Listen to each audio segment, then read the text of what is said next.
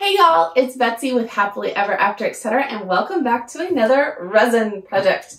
So today I have my absolute new favorite resin project of all time, little resin mushrooms, and they are trinket boxes so you can put things in them. Hide things, put things, whatever you want to do. I love these. I have done a couple trinket boxes.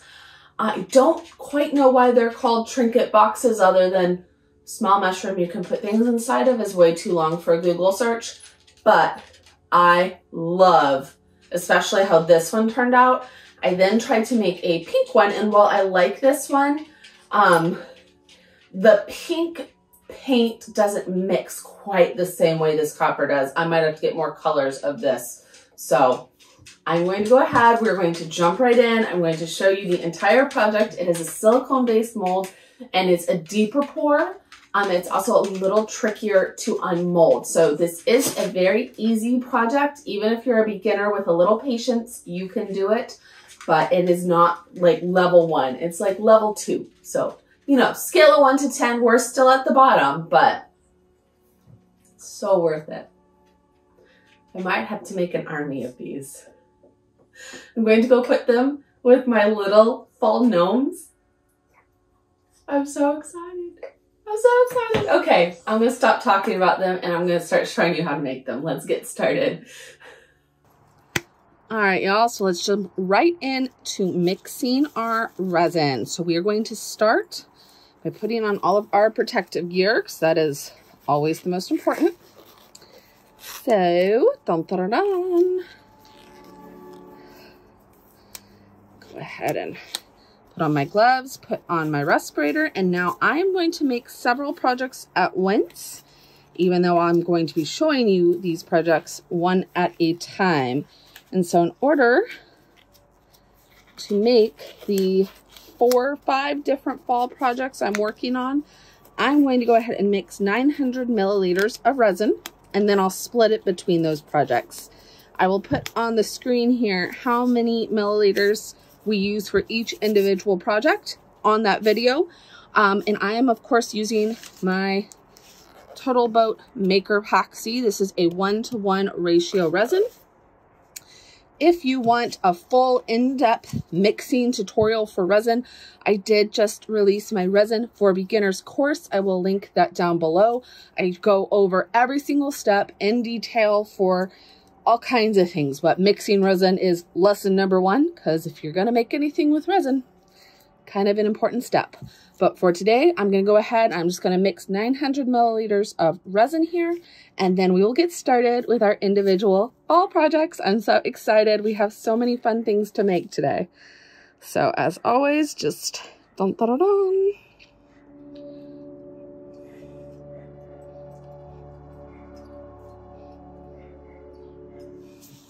One pump.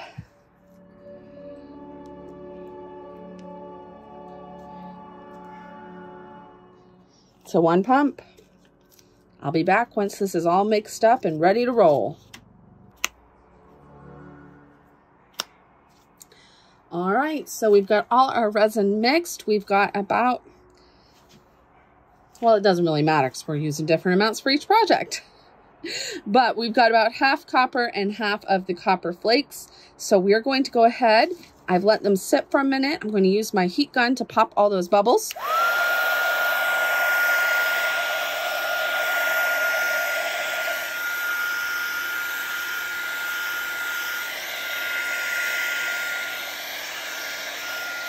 At least any bubbles that have come to the surface. Of course, we are using a silicone mold today, so we want to use a heat gun instead of a torch. That way we do not melt our silicone mold. But I'm going to go ahead and move everything out of the way so that we can bring our uh, silicone mold in and get started.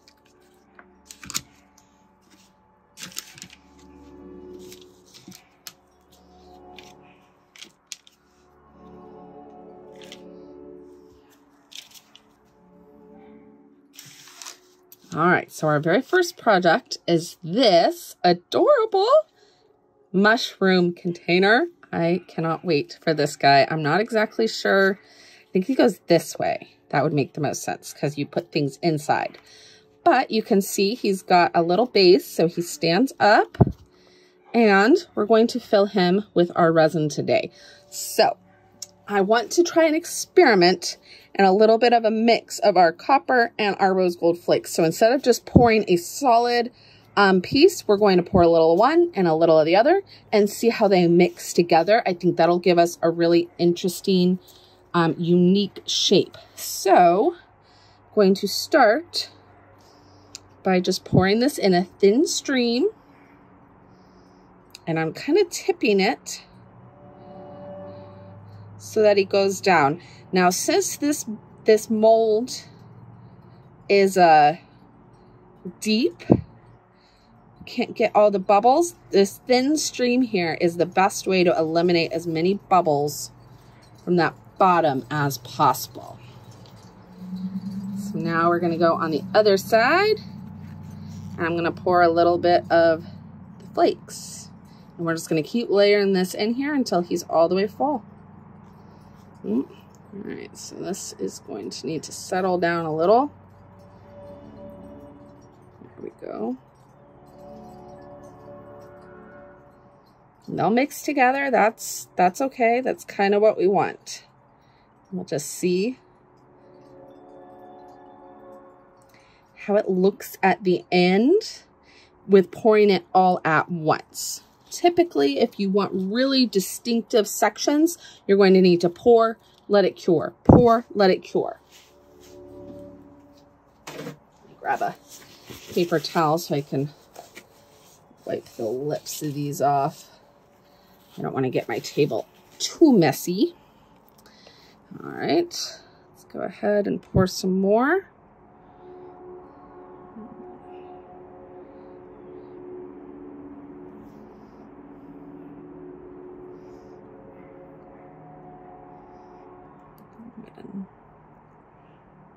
That settle out.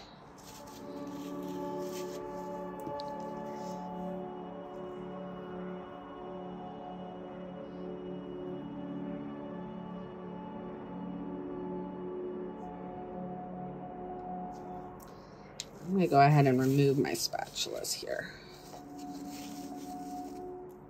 Ooh, I'm making a mess. Okay. Yeah, gloves are replaceable. This is why we wear safety gear. This is why we use paper towels and silicone pieces.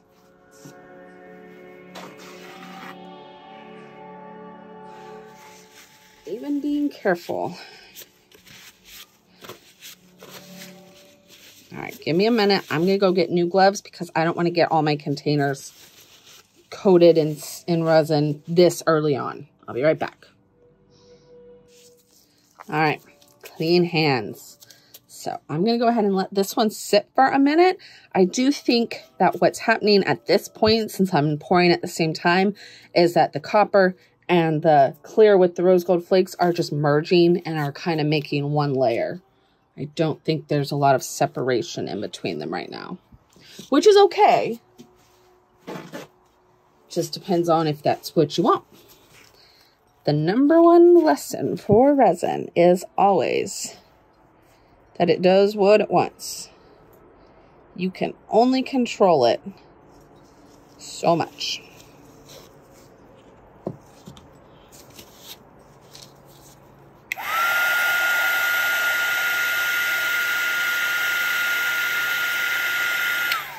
Pouring these guys in layers so that I can pop as many of the bubbles as possible.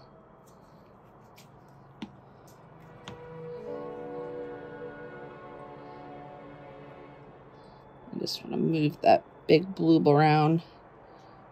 Bloob, gloob, glob. Not sure what descriptive word to use for that.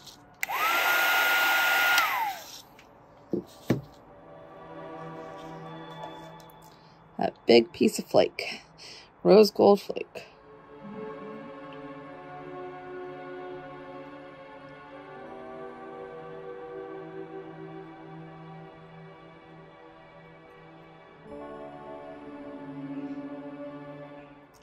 In my resin course, I talk a lot about layering and how layering at the same time like this gives you really soft, diffused edges as opposed to waiting between your layers. So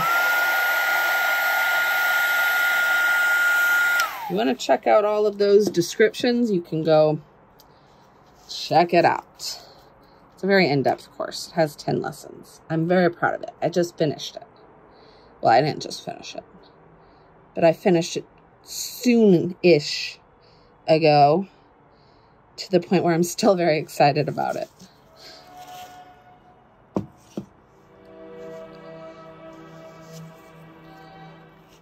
But don't worry, I will still be sharing lots of free tutorials on YouTube, on my blog, but if you want a one-stop, I will show you everything you need to know to get started with your resin projects like right now. I put together all of my best lessons over there. Because y'all, I did this the YouTube way. I learned by messing up a lot of resin. it's fun, but it's, it's not super cost effective.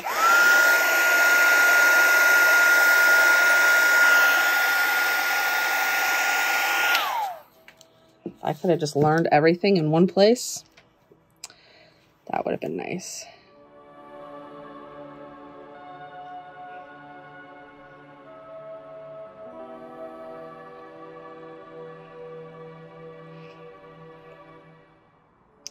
These little molds always surprise me by how much resin they take.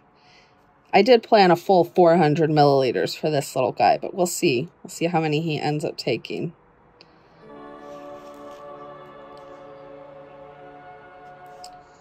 Pop those bubbles before I keep going. See all these bubbles in here?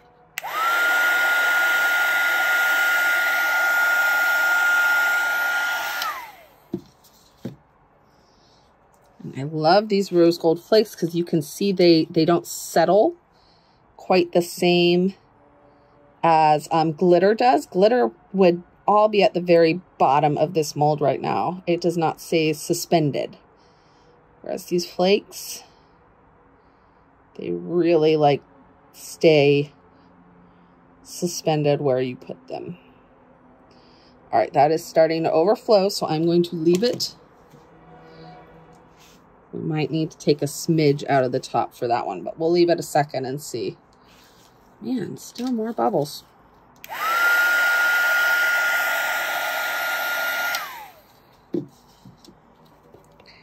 That's why we pour in layers. I should should record my layer song there.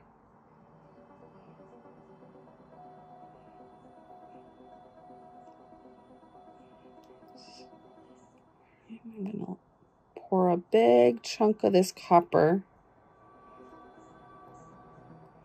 so that I have a nice big solid spot on the top of the mushroom.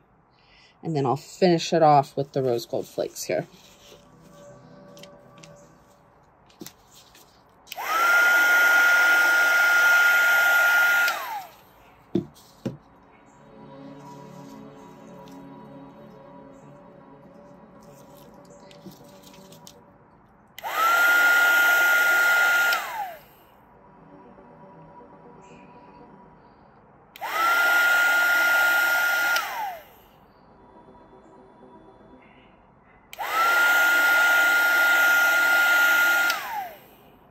I hope you can see on video, but those little, little air bubbles just keep coming to the surface. As long as they're coming up, you want to pop them. All right, finish this off here. Some flakes.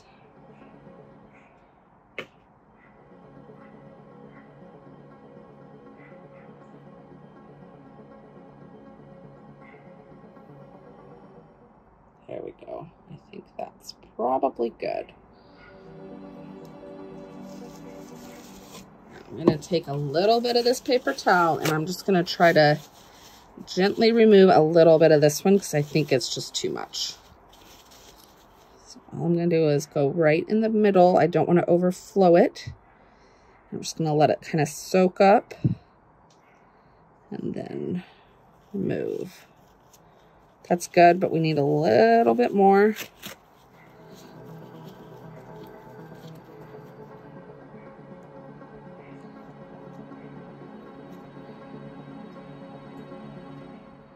There we go. That looks much better.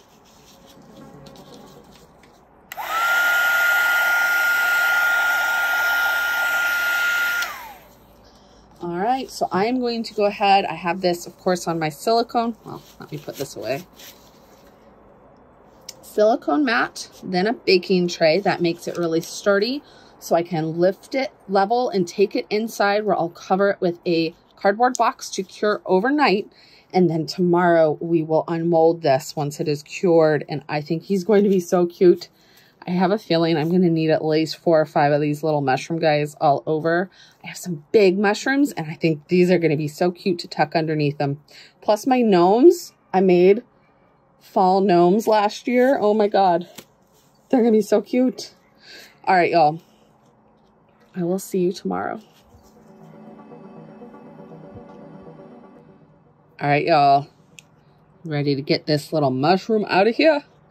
So these molds for these trinket boxes tend to be a little hard to demold, mainly because you've got a big solid piece. You've got to get the silicone all the way up and off. This one won't be too bad. I have one that's a crown. And oh man, it's hard. So that is part of my resin course. If you want to see how to demold really hard things, go over it. For this one, we should just be able to kind of roll it up and off. That's nice. Whenever rolling's an option. I'm going to introduce air. We've got these little designs on the top. Oh man, this is cute. Oh man, that's cute. I'm glad we added um all that copper but it's kind of interesting. So it seems like most of the copper settled at the bottom, probably because it's heavier. And then the flakes kind of settled around the outside. All right, let's demold the bottom. After we flip this guy back inside out.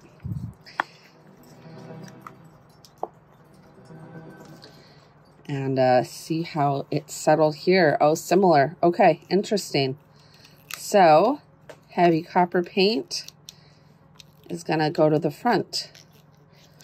I wonder how that would change if we did glitter instead of rose gold flakes, since like I said, those rose gold flakes are really good about staying suspended and not just sinking to the front. This is so much easier when you have your nails like not grown out like crazy. You have normal people nails. Need to cut them all off. Get them redone. All right, rolling. Rolling. You can get it started. You can keep it going. Oh, rolling is so much easier. The points of the crown one, oh, that's cute. Make that hard. And now I'm just going to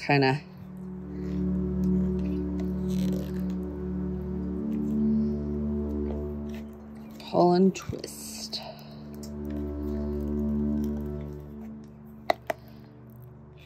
There we go. Oh, that's cute. Okay. I'm I'm waiting for this.